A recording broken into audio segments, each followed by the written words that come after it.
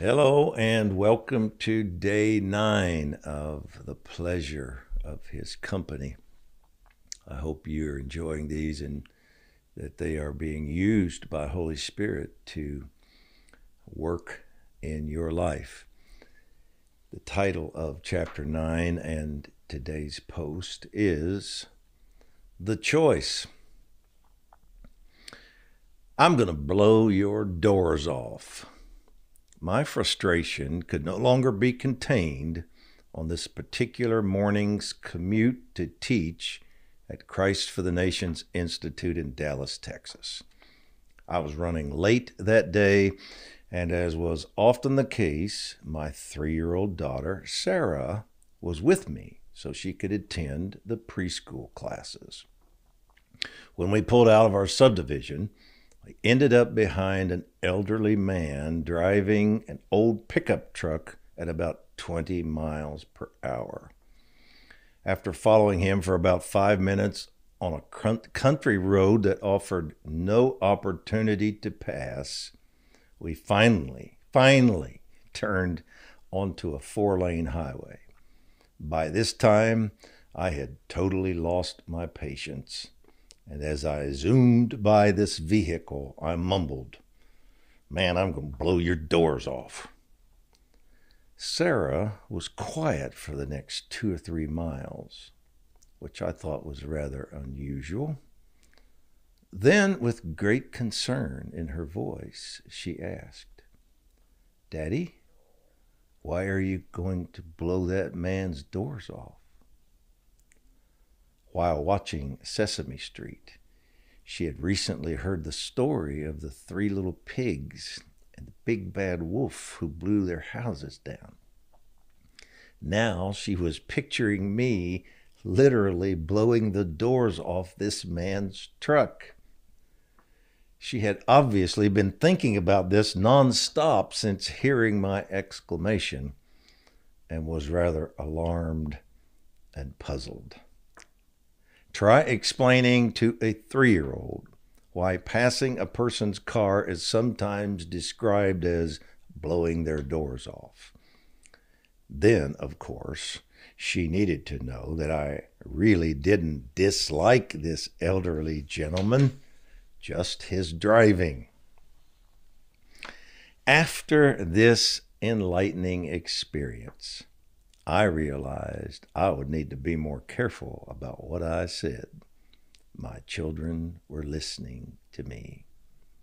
Sometimes kids listen better than adults. We've been looking at Martha's failure to listen, listen to Christ as he taught in her home.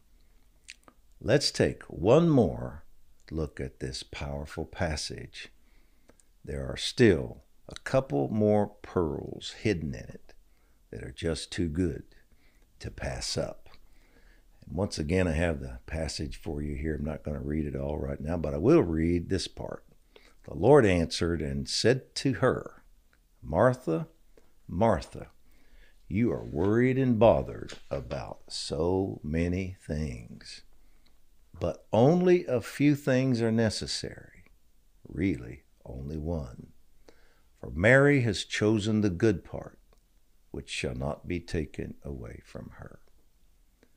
The Lord made an important statement to Martha, telling her that only a few things are really necessary in life. So far, so good.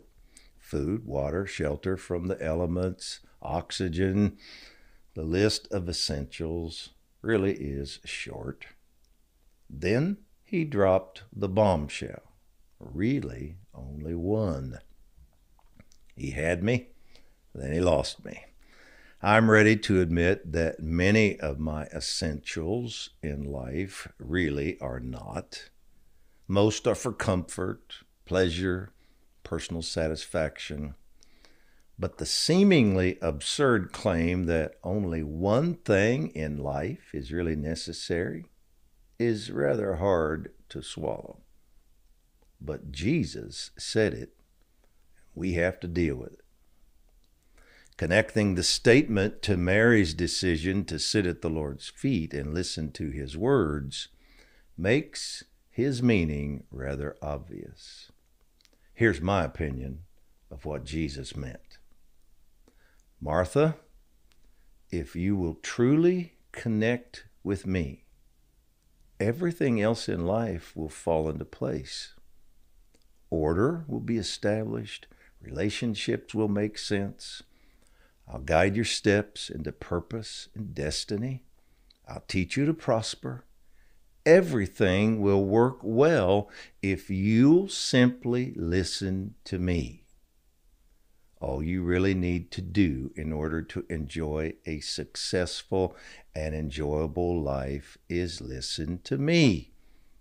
The pleasure of my company will also be the source of your success, fulfillment, and well being. Astounding, incredible, wonderful, generous, and simple. Yet life gets complicated. The pace quickens, the to do list grows, and the Martha side of our nature kicks in. The voice of the Master is then drowned out by the pace of life. When this occurs, and it will, the solution is to return to the simple strategy of Mary. Sit and listen. Let's look again at what the Apostle Paul said of the Corinthian church. I'm afraid that as the serpent deceived Eve by his craftiness, your minds will be led astray from the simplicity and purity of devotion to Christ. Life truly can be complicated. But relationship with Jesus isn't. The passage in Luke says that Mary chose the right activity. Most of us don't believe, or don't take the time to consciously consider that we always have the ability to choose the simple devotion demonstrated by Mary. But we do. After informing Martha that only one thing was really necessary, Jesus then referred to Mary's choice as good. That seems rather lame until the Greek word used is really understood. There are two Greek words that he could have used agathos and kalos. Kalos means something is made well looks good. It is even used for beauty or handsome. In our day, we use the term good, good looking. Kalos can, ev- can even include inner beauty or virtue. The word stops short, however, of suggesting practical usefulness. A good example of kalos would be a beautiful picture. It looks good, but has no practical use. When a word is needed, however, that adds the concept of usefulness or benefit, agathos is chosen. To fully convey this aspect, agathos is often translated good works. Essentially, kalos is good looks, agathos is good works. Jesus said Mary chose agathos, good works. The irony of this is astounding. The person doing nothing was credited with doing the good works, not the person doing all the good works. That ain't right, as we say in Texas.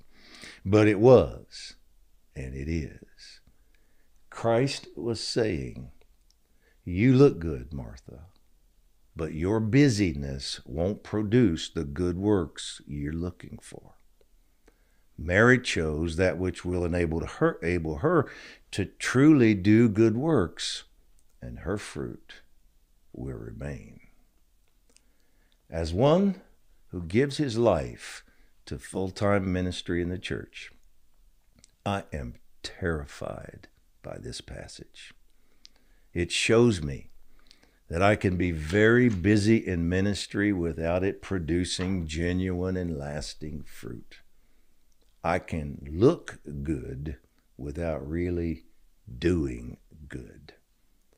We must always remember that it is Christ's life flowing through us that produces eternal fruit in others, fruit that will remain, not our abilities and self chosen activities.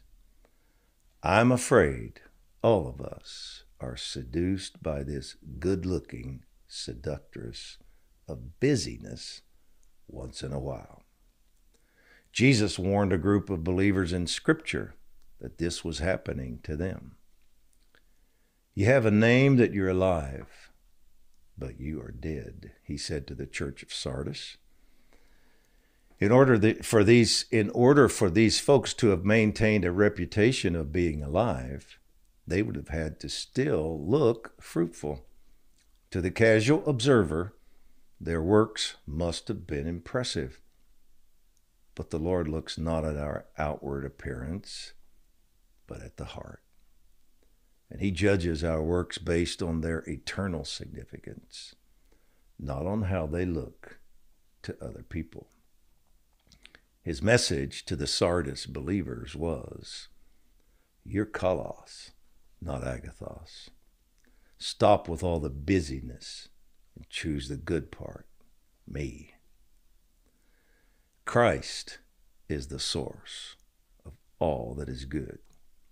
Destiny, fulfillment, well being. He, he offers us access to an infinite fountain of blessing. But we must make choices each day that will steer us toward accomplishing the good works that, long before time, He prepared for us. Choose to rest in His abundance and drink from his living waters. May our hearts never be led astray from a simple, pure, and steadfast devotion to Christ. Now that I've written myself into a state of deep conviction, I think I'll put pen and paper away and go listen for a while. Perhaps if I do, I can work less and accomplish more and maybe even enjoy the pleasure of his company a little more often. Pray with me before I do that. Father, we pray for your American kids, so many of whom have become a kalos motivated portion of your family. We bought the lie that polish size, buildings, and a name that we are alive define success. That, and along with speed and size. We became so good at it, we didn't even need Holy Spirit. It hasn't mattered to us that as our churches grew, no positive change occurred in the divorce rate, crime rate, deaths from drugs, homelessness, human trafficking, government, and other concerns. In fact, we lost ground all of these areas. We have epitomized kalos. But this is changing. A sit at his feet movement is coming. A tired of religion company of believers. We are hungry for you. And we will pass on our insatiable hunger to a dissatisfied generation. And I've tried it all, and nothing has satisfied company, desperate for the real thing. They are ripe for agathos, and you won't disappoint them. Our decree is the great rescue is beginning. Thank you for joining me. See you tomorrow.